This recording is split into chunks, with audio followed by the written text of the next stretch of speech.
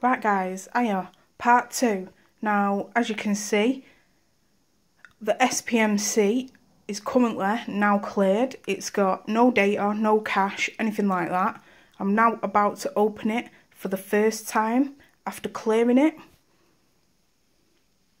As you can see, it's preparing for that first run.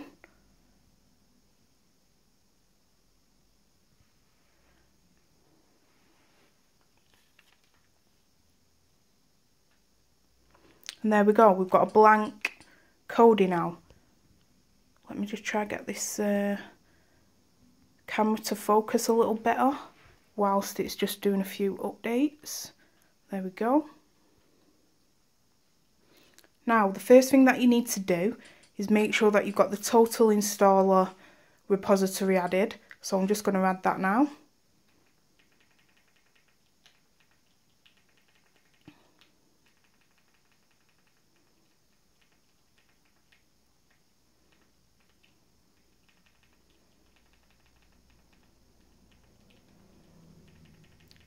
You just want to make sure that it's in caps, guys. I did check up on this and it is indeed caps. So you want I dot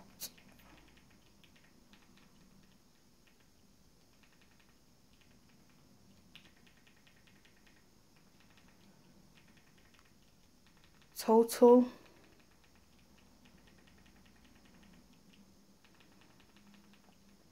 XBMC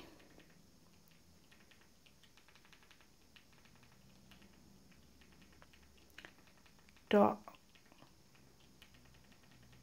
TV and to name that you just want to call it total or whatever it is that you want to install it.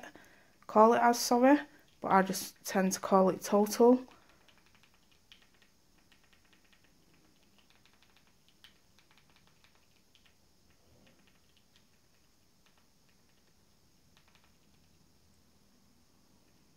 to hit OK. That's now added to your file manager. You want to go to System, Add-ons, Install from Zip, Total, Total Installer.zip and just allow that to install. As you can see it's doing some doings in the bottom right. As you, and it's now telling me that Total Installer is in fact enabled. So we're going to go back and we're going to go to our programs, program add-ons, and there we go, total installer. The first time you install this, guys, it will be version 0.1, but when you open it, it will download the new version and install it. Give you a little pop-up telling you that it has. You want to come back out of this if you get a blank screen, guys. Reopen it, and it will um, load a video you just want to stop that. And there we go. We're now updated. And you're back to this. So I'm just going to quickly sign in again with the account that I made on the total um, forum. And then we're ready to restore, guys. Right, guys, so we're backed up. We're signed in to the Total Installer add-on. Now, previously to this, I got the download, I downloaded the zip files, sorry, that I had uploaded to Dropbox. So there was two zip files if you remember. I downloaded them back to my downloads path. This is a different stick. So downloaded them from the um, ES File Explorer cloud section, signed in with my Dropbox account, copy and pasted the two zip files from my Dropbox into my downloads folder on my Fire Stick and then in the community builds setup I've just navigated again to the downloads folder the exact same way we did in the previous video when choosing where to back up to and I'm just going to hit OK now. I'm going to come back out of this and it should have hopefully signed me in. Yep, there we go. I've got the welcome back message. Now, to restore your build, guys, it's the same process. So you want to go into the community build section. You will get the same pop-up. You want to this time select restore a locally stored community build. So you want to hit that, you'll get another pop-up, just close off that, and it will take you straight to your downloads folder, guys. That This is the exact folder that you navigated to within the settings, and as you can see, there is your community builds folder.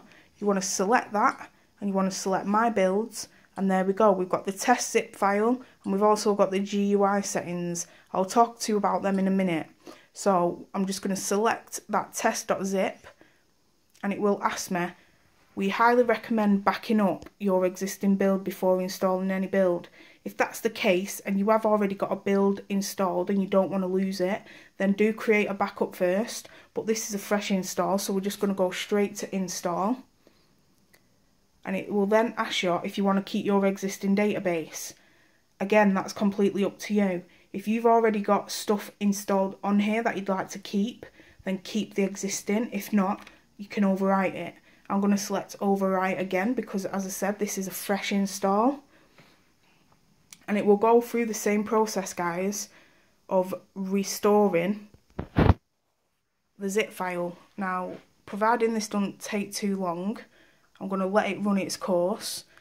When doing the backup in the last video guys I cut it at the end but it literally took maybe three, three minutes 40 seconds or something like that to create the zip file nothing more than that.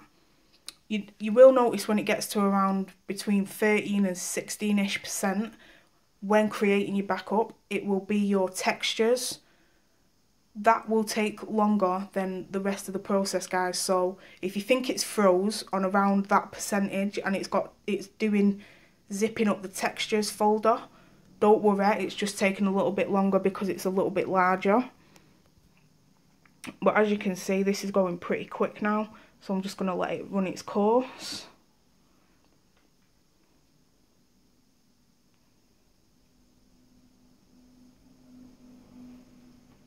And just for anyone who's curious, I do not have super broadband, guys.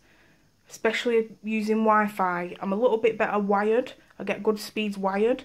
But when using um, Wi-Fi, I just get maybe 20 meg, 25 meg at the most. Right, so there we go. It has now restored that build and you will get this pop up, step one complete. Now please change your skin to the one on this build was designed for. So we're going to select OK and it will take us to our appearance settings. All you want to do is if it's using a different skin, like this, the what the backup I made was the confluence skin, so I don't have to change it.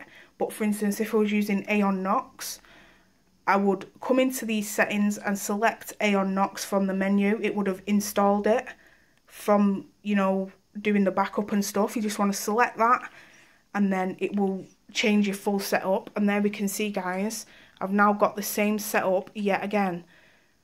Regarding the GUI settings, if you do have some things missing, for instance, wallpapers or shortcuts or something like that, you want to go back into Total Installer through the same process and you want to do the exact same for this zip file here. I don't need to do this because I've I don't need to, I'm not missing anything. But if you do find that your build is a little bit broken when first restored, you will need to restore that guys. And that's about everything that covers making a new backup. I hope this has been helpful. I know a lot of people have struggled when it comes to creating backups, especially on the Fire TV stick, because it's just a little bit annoying that there's no USB port. But hopefully, this will get you up and running, guys. Cheers.